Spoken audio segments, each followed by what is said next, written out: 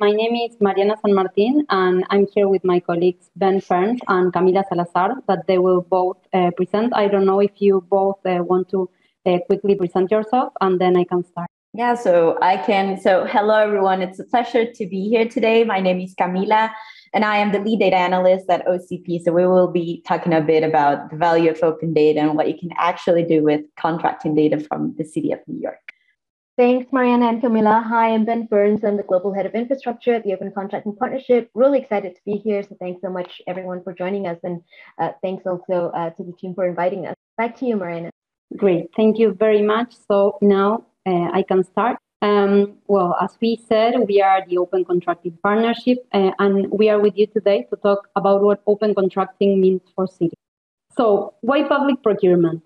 Every year, governments spend huge sums of money through contracts on everything from pencils to building major infrastructure projects such as airports. The global spending on this is over 13 trillion each year. That is a pile of $1 notes stretching from the earth to the moon and back, and again to the moon. One third of every dollar spent by government is on government contracting. However, procurement is government number one corruption. Almost 60% of foreign bribery cases prosecuted under the OECD Anti Bribery Convention involve bribes to obtain public contracts. And over 30% of companies in the European Union tell us corruption prevented them from winning a contract. We talked about these 13 trillion being spent of public contracts every year, and from this, nearly two thirds is handled at the subnational level in OECD countries. This excludes procurement led by cities, so this number is likely even bigger and probably growing in the context of increased localization. COVID has exacerbated these challenges. Crisis situations are ripe for corruption due to increased funding levels.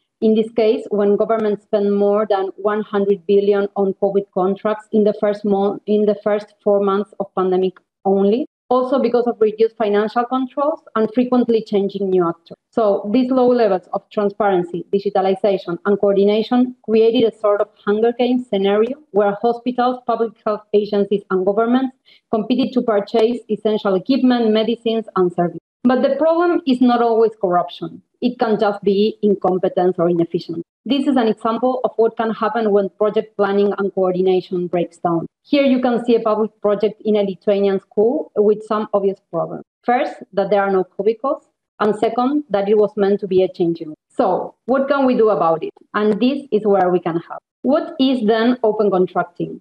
OCP works with governments, businesses, and civil society to transform public procurement to deliver better goods, services, and works for everyone. Using the power of open data and effective participatory mechanisms, we help to reduce corruption, improve efficiency, enhance competition, build credibility and trust, and deliver better value for money. At the core of our work, we have two open data standards, OCDS and OC4IDS, which help stakeholders publish and use standardized, structured, machine-readable open data in a timely manner so it is easier to understand what works and what doesn't work. And from there, it's easier to introduce, to introduce reform. OCP is nowadays working in over 30 countries. It has been endorsed by the G20 and it is an open government partnership norm with over 189 OCP commitments at national action.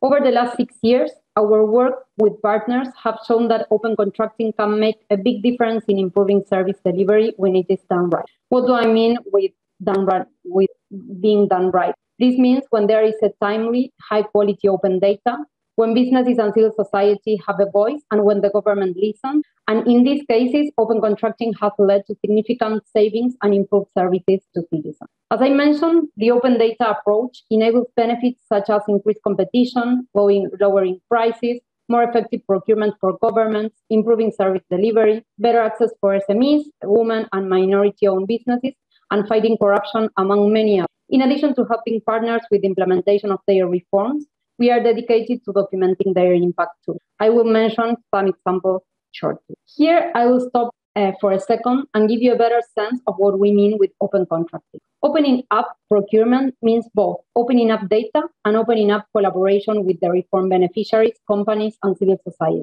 To do this, we start with governments publishing their contracting data.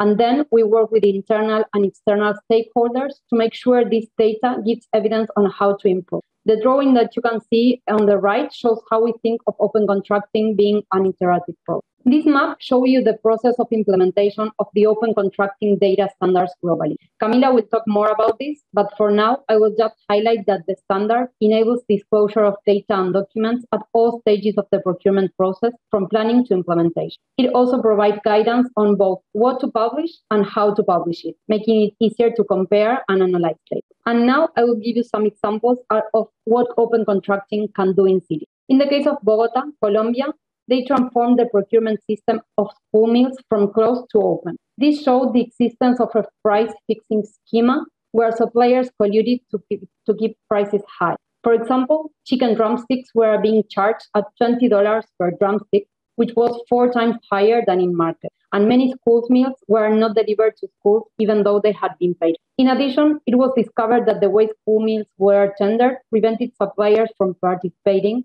as they were required to both provide the food and distribute it to schools. So the open contracting approach enabled the procurement process to be reformed, and as a result, supplier diversity increased by over 350% and the quality of the food increased. In the case of the city of Buenos Aires, the government had two goals. First, to improve the efficiency in the way infrastructure was planned, procured, and delivered. And second, to improve public trust in government. First, the, the government was fragmented and siloed. It was operating multiple different systems, platforms, and formats, which made it really hard for them to coordinate. And this happens in many, many governments. And this also meant that public officials had to respond to identical information requests from different offices many, many times. From the side of citizens, they were also frustrated because of the disruptions faced from public work construction, where they didn't have visibility on what was happening or why it was happening. So the city government created an open infrastructure portal called BA Obras that joined up key information on infrastructure projects, making it accessible online. From BA Obras, we have seen huge efficiency gains, such as 93% reduction in time for city officials to collect and share data, and 75% less time spent on research by journalists. Both government supervision and CSO monitoring of public works has improved, and the number of citizen complaints have been reduced. Businesses have also reported that this data is helping them to better plan their supply chains, and which in turn enables them to participate in upcoming tenders. And the last example I will tell you about is not exactly a city, but I wanted to mention a very interesting example from Taiwan that we are replicating also in India. Our partners in Taiwan join up public procurement data with flood data to help government identify areas in greatest need of flood defense infrastructure. Here you can see in the slide that there were already some discrepancies in past procurement, where some areas with few floods received significant spending and others with lots of flood had much less spending. And in India, we are doing something like this, but adding socioeconomic indicators to analyze this. I wanted to present this example because it's pretty, very relevant for the problems we are having globally these days. And now I will let Camila uh, tell you more about the data itself that allows this kind of analysis. Uh, thank you so much, Mariana, and everyone for joining this session. And I guess in this part, I wanted to showcase uh, the value of procurement data and why procurement, procurement matters and having open data sets on procurement is really helpful for us citizens just to monitor spending. So if we go to the next slide, um, uh, one of, as Mariana said, open contracting is basically about two things. So, in one part, we work with governments and with different stakeholders on how to push reforms to make public contracts uh, more openly and to deliver better goods and services to citizens. And then that is this other component that is based on open data, having open data published and used uh, in order to share and track the key items of information across the whole process of public procurement, from planning to how you actually award a contract and how this contract is implemented, and just having all those data sets published in a user friendly, open, and standardized way. So, that is one of the key principles of open contract. If we go to the next slide. So, uh, and I wanted to start here to let us think about a procurement process. And uh, I guess sometimes we think that procurement is really, yeah, it's it's it's an activity that uh, it's only done in public offices, but it doesn't affect us personally or in any way.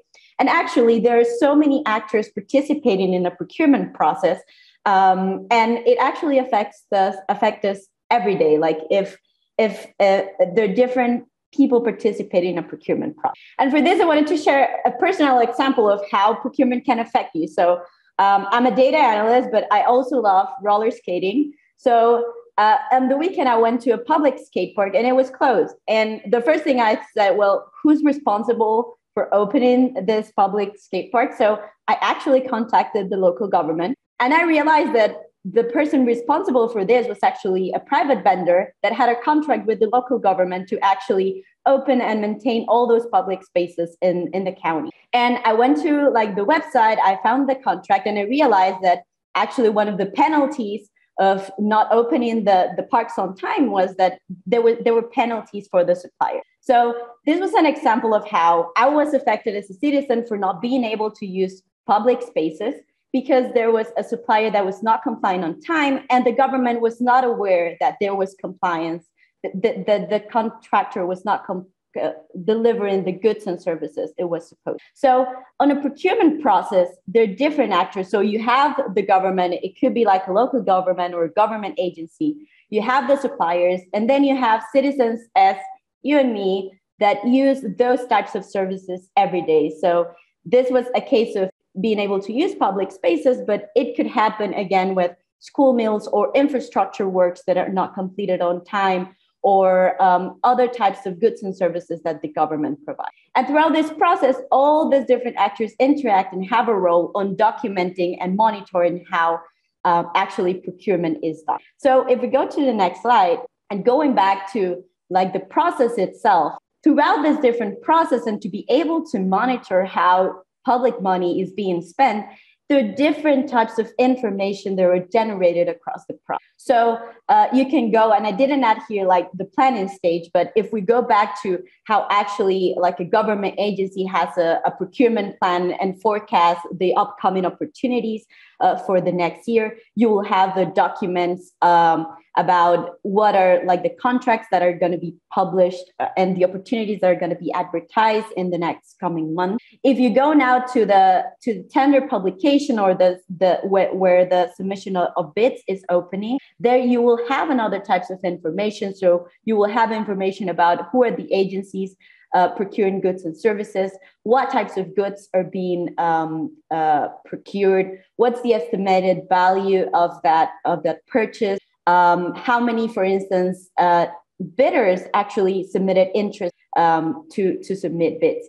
And then if we go through the other stages of the process, once uh, the tender is awarded and the contract signed, then you would have other types of information and data that could be disclosed in this different state. And besides that, besides the process itself, you will have information also about for instance, about the vendors that are registered in, in the city or in the agency as well. And all that information, if we go to next slide, is actually and can be transformed into data. And what we mean by data is that sometimes procurement runs uh, similar to an image like this, that it, it sometimes runs on paper or is scattered across different systems.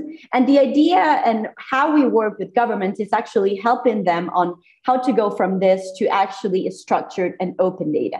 Because all of those types of informations that you can disclose across the process can actually be structured in an open and standardized way. If we go to the next one, uh, and what we mean by structured information is data that information that can be processed by a computer. So you can have, for instance, a PDF of a contract online but what we mean by data is actually having something that looks, and this is just a really simple table, but kind of looks like this, where you actually have this aggregated information on the different stages of the process. So you would have, for instance, an award ID and how much was awarded, and then who uh, were the suppliers or the vendors that were awarded that contract.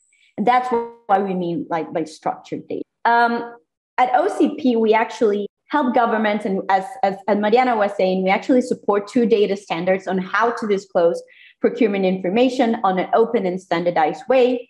And the idea is uh, that with the open contracting data standard, you can actually link the different stages of the process and disclose data fields across those uh, stages in a standardized way. So in each of the stages, you can actually track uh, from where that contract was planned to when was it published, when was it awarded, and how is it being implemented on, on time. And throughout the stages, there are different recommended data fields that you can actually disclose. Um, go ahead. also, and, and just to be clear in this, and since we work like on, on, on different countries as well, um, we find that sometimes when we talk about procurement, there are different ways about how this information is disclosed. So um, sometimes uh, what you find on, on a procurement website is just, let's say, a file with the total number of suppliers or a file with the total value awarded by quarter. So those are aggregated statistics of procurement information. But what we actually advocate for is having disaggregated information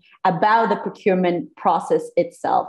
So we want information and we advocate for information to be published for each procedure so that you're able to track the dates, the values, who are the participants or stakeholders involved in that process what are the items being procured so we aim for having disaggregated information instead of just having aggregated statistics about procurement data itself and the idea of this is for this information to be available for everyone as open data. And since this is Open Data Week, I'm pretty sure uh, you know what we mean by open data. That is basically data sets that can be freely used, used distributed by anyone. And um, you can actually download the data set and let's say create an app for um, for upcoming opportunities that can help vendors to better bid for contracts, just for an instance. So that's the idea of having this open data set that can be freely used and reused by everyone um, that that that that that wants to. Um, and the good news is that we actually, like in, in New York City, there's actually an open data portal that has procurement data available. So as you know, in New York, there are different um, uh, different procurement, how procurement is run on, on different sites, but on the open data side, there is information available as open data. So if we go to the next slide, so for this exercise, and just to showcase you why it is important to like use data, so we actually downloaded two of these data sets uh, on the Open Data portal about the city record and the contracts uh, awards a data set as well. Um, and then we just kind of analyze some of this data to showcase what you can actually do and also showcase some of the methodologies that we can use to help government be aware of how usable and what types of things you can calculate with your data. Um, and this is, and we, we have developed these methodologies because one part is just disclosing the data and having those data sets. Uh, but the idea and the value of data actually lies in how it can be used when it is analyzed and used for decision making. So in our work, we also advocate for that. So that the data is a tool that government citizens can use to drive for reforms and for better decision making. Um, and throughout our work, we, can, we have actually identified different use cases uh, of procurement data, actually the standard and how we help governments disclose open data on public contracts is based on different use cases. So that the data set is usable for key uh, key specific in- instances of using data to achieve outcomes on pursue a specific goal. So uh, the use cases relate to market opportunities. Uh, this means, for instance, uh, being able to assess competition in specific markets, to see, for instance, the diversity of vendors that are participating in public contracts.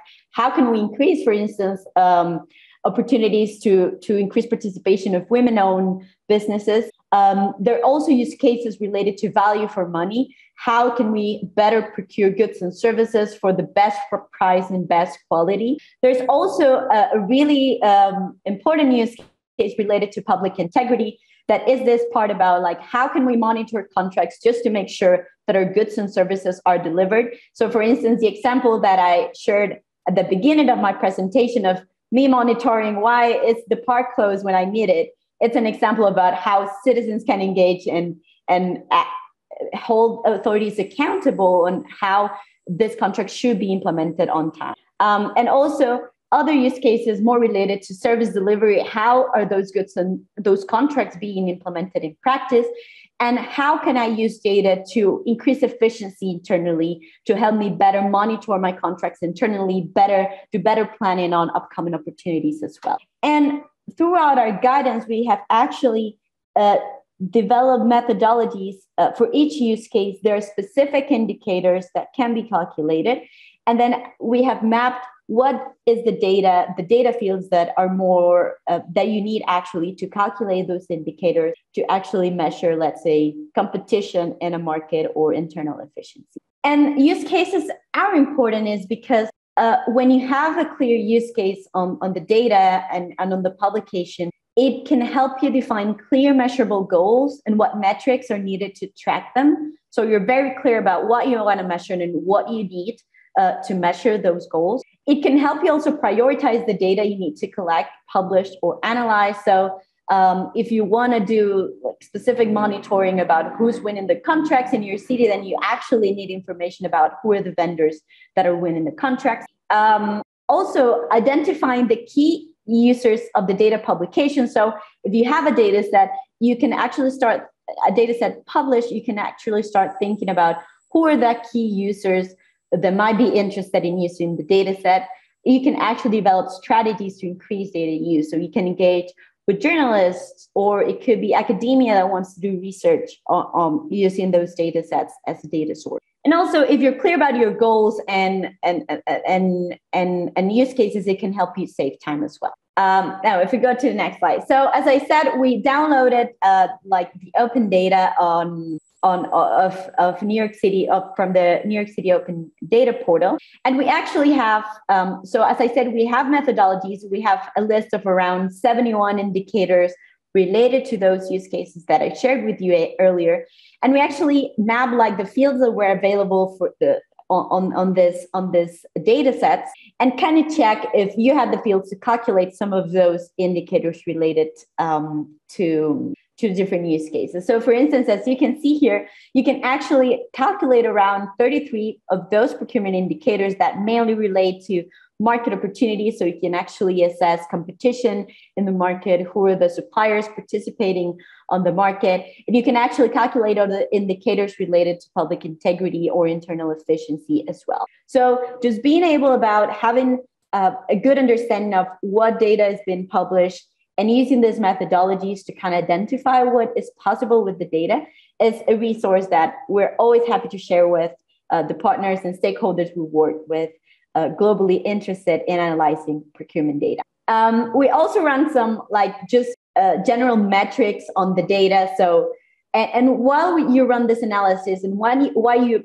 when you publish and use that data, you can actually uh, get different findings about what is uh, like the number of awards uh, being awarded by year or um, the the amount awarded by year you can actually segment this analysis by month or by quarter so you can better plan about how the spending changes on a seasonal basis throughout a year. Um, if we go to the next one, uh, we actually there's information about who are the vendors of, um, of of the main contract. So you can see, for instance, who are the main vendors, and based on this, you can actually see, for instance, who are the, what are the main categories, or if it's technology-based companies, it's probably contracts related to IT or or, or technology um, um yeah technology related contract. So you can actually get an understanding about what's being who's participating who are the companies being awarded contract. And you can actually segment this analysis disaggregate it even further to see let's say specific agencies or specific market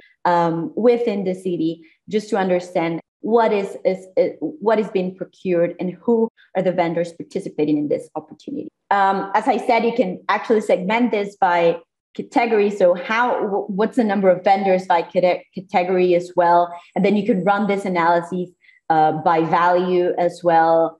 Um, see, let's say if how the market is divided. So if there's market concentration of in, in each of, of this market. And all of these analysis that you can do will depend, as I said on the beginning, on your use cases, your objectives, and data availability um, that is there. The good thing, as I said, is that from the city of New York, there's data available, and it's a matter of yeah, downloading the data, start thinking about how can I use this data set? What are my objectives? What are my use cases?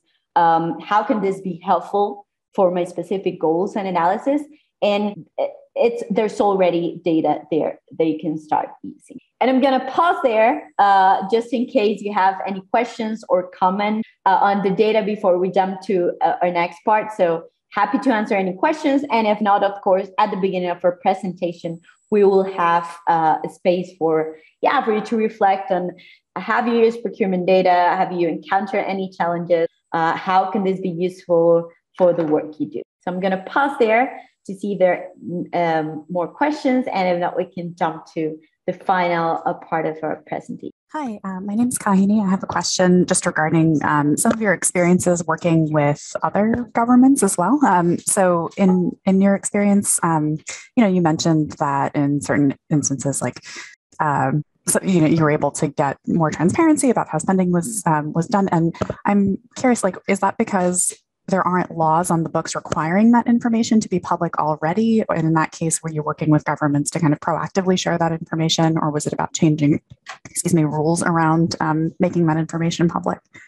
So I think it's it's two ways. So in some cases, let's say there are transparency requirements by law, but I guess in most cases, what we found out is well first procurement data like most of the procurement the information that can be disclosed in public contracts is actually public information. We're talking about money uh, it's public money that's being spent to provide goods and services. So in terms of let's say confidential information there's most of the information related to procurement is not confidential so it can be disclosed. So in our work it, it's it's a matter of both. So having i think first having like the buy-in from the government is key. So that they know the value of having these data sets open. And we have examples of uh, governments actually disclosing this data and then using this data internally as well, not only to disclose data as a matter of transparency so that journalists or civil society can monitor, but also internally it can help them uh, at, let's say implement um, different types of internal analysis to better measure um, like how procurement is run as well. In other cases uh, where there's there's not that much buying from government we found that actually having an active civil society pushing for the disclosure of this information can be helpful as well. So it kind of yeah advocate for for for the openness of contracts. And in the ideal case what you would have is a government that's willing and that's uh, proactively working in disclosing that information but you also have civil society that's willing to use that information as well. So when you have that stakeholder collaboration i think those are the best scenarios and those are the places where we have like the most uh, relevant examples of how this data is being used well, so I guess we can run to the last part of the presentation, and at the end, as I said, we will have space for for other questions or thoughts on procurement.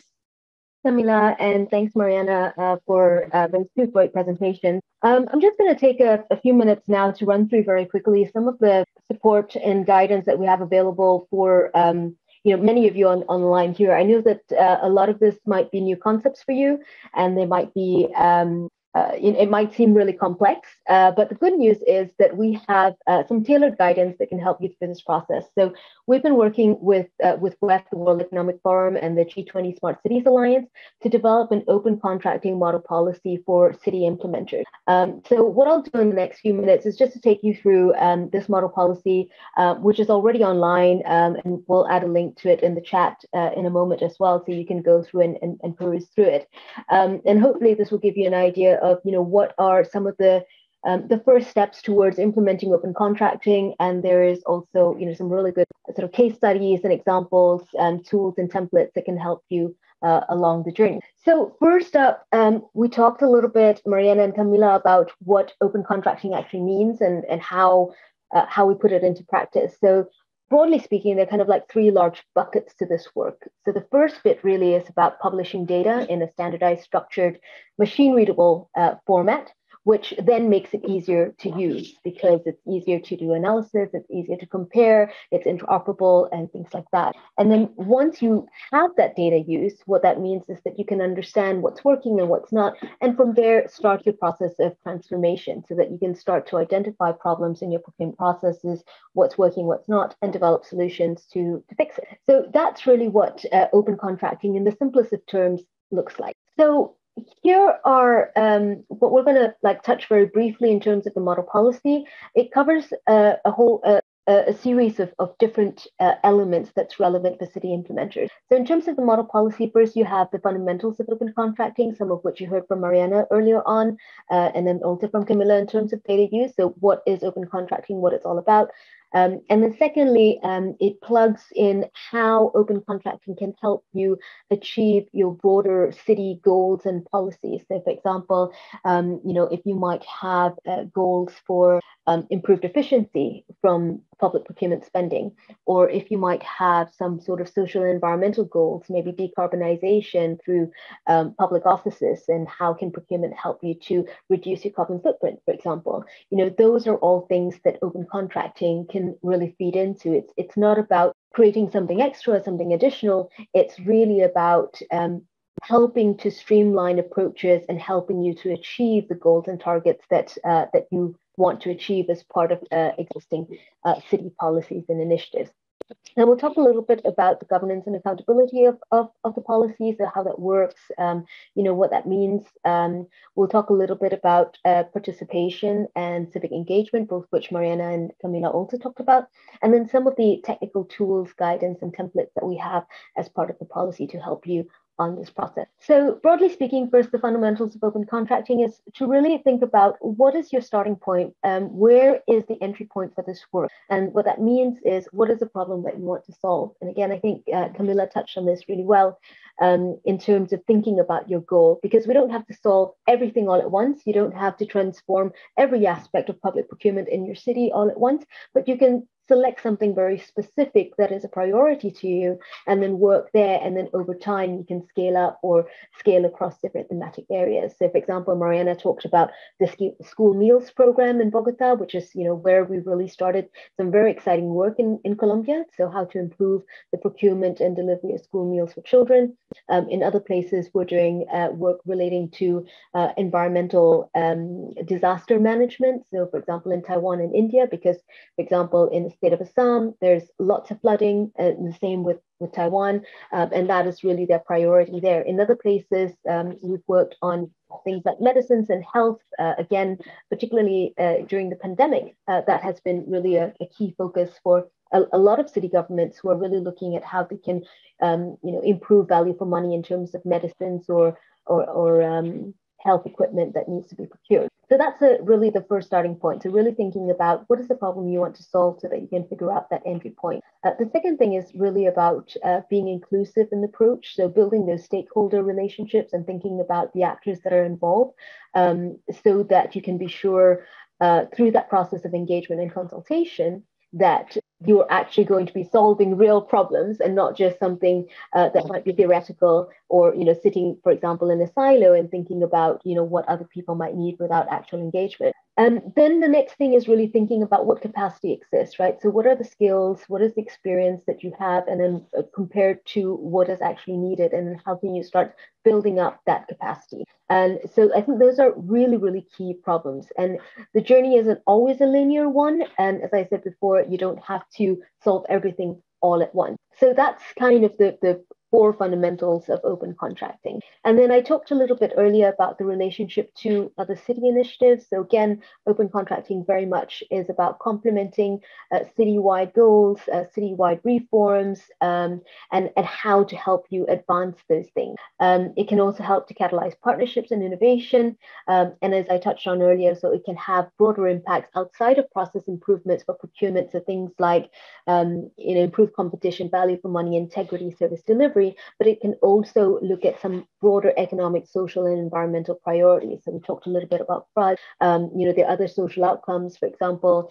in, in some places we're looking at social housing and how that can help to reduce homelessness, or you know, how procurement can help with job creation so that you create shared prosperity. So those are sort of broader goals as well that open contracting can help to deliver. And so it's all really about how procurement can help to drive change and procurement data is a key part. So Mariana and Camila also both talked about some of our data standards. So we have obviously the Open Contracting for Infrastructure Data Standard, the Open Contracting Data Standards, so OC IDS and OCDS, all of which uh, helps provide a standardized and structured way of publishing, so presenting data that makes it more usable and makes it more interoperable.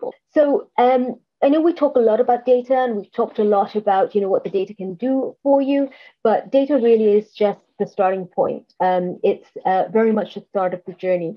The key is really using that data and collaborating with other stakeholders to make sure that that data use can transform into something meaningful so it can deliver something that you that you really want and that's something um, that we can't stress enough because i think um, in, in some cases where transparency is the end goal, you might find that maybe all of your procurements might be open, but then in reality, nothing else changes, right? So it's really about kind of whole life cycle transformation and whole systems reform, where data is a key part of that, but it's not the only part of that. And then finally, what I'll say on this slide is that uh, perfect shouldn't be the enemy of the good. Um, so everyone can start somewhere, and I know that it can be daunting, and some people might think, oh, but we're not ready because maybe we don't have the capacity, or maybe um, you know we don't have regulations that mandate it, and it might be too difficult. But everyone can start somewhere. It can be either in a specific agency, uh, on a specific thematic area, or with a specific partner, or or something like that. And then the, and then from there you can you can grow the program incrementally.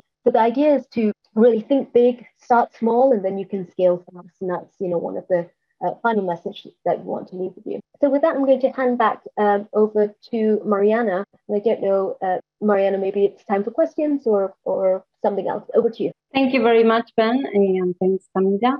Um, I don't know if you um, have any questions, uh, if you want to share uh, some some problems or, or some ideas that all this uh, made you think about. It can be in the case of New York City or or, or as Camila shared some example on on on what happened when when this doesn't work well. Hi, this is Malgosha from NYC Open Data. Um, I'm curious to know a little bit more about um, how you work with um, governments at the local, state, federal level um, in facilitating implementation of these uh, best practices around open open contracting.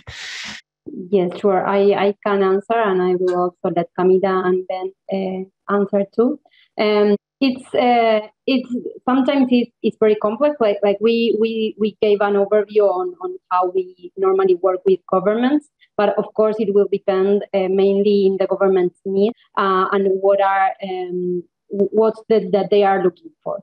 Um, because the, the end goal is not to publish data, but to be able to have data to answer uh, our key questions or, or, or be able to conduct the key improvements that we want. Uh, so first, we, we have to know like where the government is standing, like which data they have, which data they don't have, uh, and what they are interested. For example, if they are interested to improve internal efficiency, if they want to improve competition, or it will depend uh, on what they want to do um, to move forward. I don't know, Camila and Ben, if you have like any other comments on this. Go ahead, Ben. Go ahead, go ahead, go ahead, Camila. you first. No, I was just gonna say, yeah, as Mariana was saying, it it really depends on what uh, what's the government objective and goal.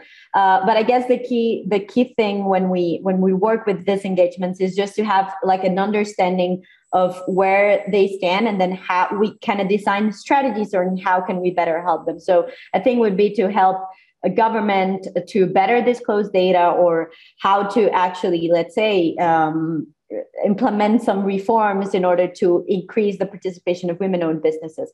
So it really depends on what are the main goal. It can be support on the data part but also support on other strategies that can drive to better procurement outcomes as well. I can I can jump in quickly uh, just to share a little bit about um, what our support model looks like. Um, so again, um, depending on on who the agency is or you know which city government it is and what their goals are, I mean broadly speaking, that we can um, help provide advisory and um, support services across the entire implementation process. Um, so first of all, on the data side, we have obviously uh, fabulous people like Camila, who's our lead data scientist uh, here at OCP, who can help with the data work. We also have a, a free global help desk where anybody who's interested in um, publishing or using data uh, on procurement and, and related uh, topics uh, can get support on that. So how to structure data, how to publish it, how to think about visualizing that data so that it becomes more user friendly, so that you can create uh, for example, some data tools, um, uh, maybe some analytics and things like that. Um, but also then um, we look at the end goal. And so we do a lot of capacity building and training for government stakeholders, but also civil society actors so that they can uh, use the data to create those kind of transformations that, that we're that we're, we're talking about. And similarly, um, with the G20 Smart Cities Open Contracting Model Policy, that's a mouthful, uh, we'll also be uh, running a series of workshops uh, as part of the um, smart city work um, to help uh, city implementers along this journey. So the first point uh, for that is that we're doing an introduction to the open contracting model policy on the 17th of March. Um, and I think those details are probably already on our website. And if not, it should go out uh, soon. So I encourage you to check our website, sign up to our newsletter. Um, and we're also on Twitter and LinkedIn and things like that, because that's where you'll get um, the most up-to-date uh, details on our events uh, and capacity building and workshops and things like that. And then from there, we'll probably do a series of deep dives um, touching each of the kind of pillars of open contracting from publishing data to using data to um, stakeholder participation and engagement, thinking about feedback loops, complaints mechanisms, and how that can help to um, inform uh, the transformation process. So there's a whole raft of, of, of, of uh, activities and workshops there. And of course, we have a lot of guidance on our website as well, which uh, you can you can peruse at your leisure. Thank you, Camila, and thank you, Ben. And I want also want to uh, present Riley Martin, uh, a colleague from ours that is also here, uh, that is working specifically uh, with US cities in case she wants to say something else. Just a hi, uh, and thanks folks for attending. And I'll drop my email in. The the crux is we can help in a lot of different ways, but reach out and we can figure that out together. Great, thank you very much, Riley. So she will uh, she will also share her email over top. And I'm not sure if there is some other question. If not, of course, you have our our emails. We will drop it in the chat too, and and same with writing. Great. Then thank you everyone for participating, and please let us know if you have any any question, any ideas, or any comments.